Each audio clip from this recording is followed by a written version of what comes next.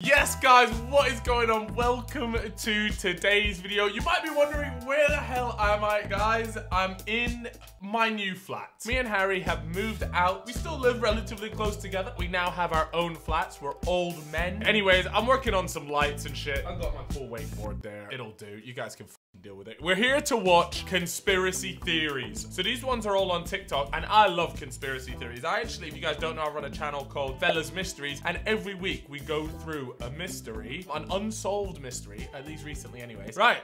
Here we go. So what's up with the Denver airport? It's the second biggest airport in the world despite Okay. being ranked 20th in air traffic.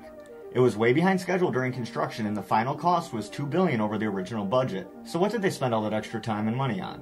Allegedly, some of the construction workers said they built five multi-story buildings underneath the airport as well as an elaborate tunnel system. Is this guy like just reading off of a script next to him? So why did they build them? Well, there are three popular theories. One, they're the headquarters of the New World Order. Two, they are FEMA concentration camps waiting to be used. What's a FEMA concentration camp? Hold on. Oh.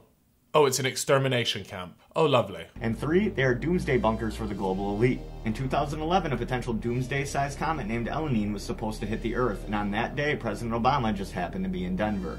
There is also a capstone in the airport that displays a Masonic symbol and gives thanks to the New World Airport Commission for building the airport. There are many murals covering the airport, which some believe depict the New World Order Yo, what the hell are those murals? Those are really weird. Like, what is that? Imagine you're in an airport and you saw that. Doomsday event. Not to mention a giant blue horse statue named Lucifer, which many people believe represents the fourth horseman of the apocalypse. Even the Denver airport seems to play into these conspiracies. Yeah, I guess it's kind of weird, but why underneath an airport? Why is an airport a good place to have all of this stuff? Surely you would just create this in the middle of fucking nowhere. There is so many middle of fucking nowheres in the US. I'm saying it's it's got some small cap. Okay, I have a major conspiracy theory. Alright, come on. I was scrolling through TikTok and I saw this girl who posted a video saying that she had a dream that on May 10th, 2020, quarantine would be lifted.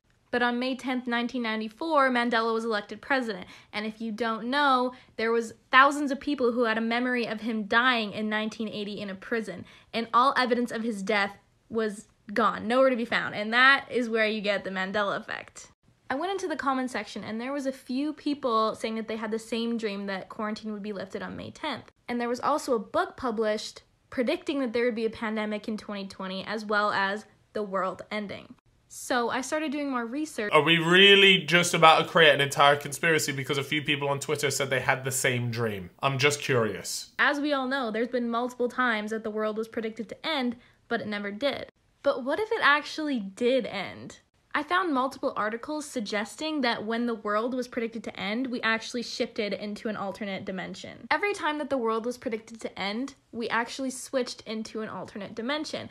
A dimension exactly the same as the first one we were in, but slightly different. Like details of the past have changed. For example, in the Star Wars movie, we all- Gents, please do not do drugs. Don't spend too much time on the internet. This is what fucking happens. And I'm not against what she's trying to say. She's just reaching too far to connect all these dots, saying that we left one dimension and went into the other one, but the other one turned out to be actually the first one we were in. It's like, just shut up. What if I told you aliens really do exist? Do not watch if you get easily paranoid. Why has he got like that music on? Why don't you just tell me about the aliens? We were able to talk, we all knew about aliens. They were in kids' books, textbooks, and well, basically everywhere. Now, personally, I'm a believer in aliens. I believe that aliens do exist, right? I just find it when people make the videos like this, it just makes it less credible. But what if I could prove to you they're real? Let's start from the way beginning. In 1470, Leonardo da Vinci painted the Madonna. And in the background of this painting, there's, well,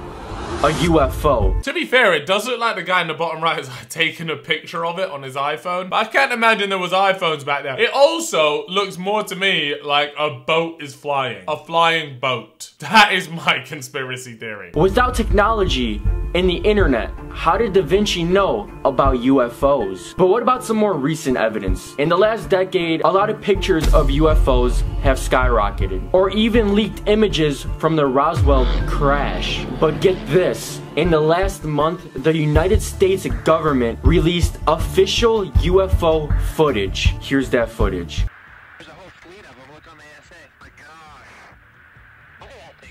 The government have come out and said there is shit flying around that we don't really know what it is. I'm not really sure how we went from a fucking a flying boat in the back of a painting to there being aliens there. The world has wondered what happened to JonBenét Ramsey. I did a Fellas Mysteries on this case and it is nuts, guys. It is seriously crazy. Child star and the daughter of John Bennett Ramsey, and she was murdered in 96. If Yeah. you keep up with current events and news and things, Wait, then I'm what? sure you know who this person is. But just in case you don't. This is Jeffrey Epstein, and um, if you look at this bottom line right here, it says that he was charged for using underage girls for sex trafficking or sexually abusing them. Here's the actual listing of criminal charges. Alright, come on. We, no, not everyone's been living under a fucking rock. We know who my man is. This is a picture of him with his most current girlfriend. Why is she important, you might ask yourself? Well, right here it says that she was also accused of helping Epstein with procuring and trafficking underage girls. She denies these allegations, but still it's there. The picture I'm about to show you was taken of JonBenét shortly before she died. Notice someone? Nah.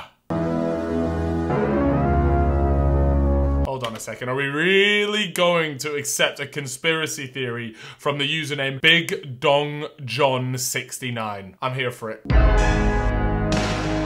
The horror of Project Sunshine conspiracy. The government was stealing dead bodies to do radioactive testing. Probably. All right. Well, there it is. I'm not too sure if I would, I would I would take conspiracy theories from TikTok at this moment in time. Certainly from the people that we just watched. Look, man, there are some sick ones out there. And like I said, guys, if you want to watch more of this type of stuff, then please let me know because I'm more than happy just to tell you how much bullshit there is flying around.